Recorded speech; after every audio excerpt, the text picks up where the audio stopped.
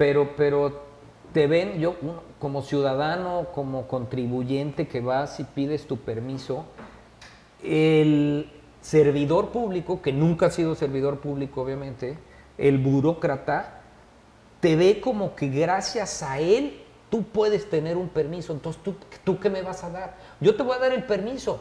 Por lo tanto, ¿qué más vas a dar a mí? Yo, yo este, o una lana o participación en tu negocio porque tengo el derecho, porque tú dependes de mí. No lo ven como que te tienen que servir y para eso se les paga.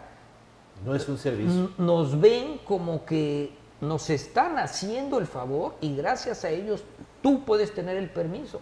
Por lo tanto, tienen el derecho de tener este, una participación. Y la corrupción entonces está justificada.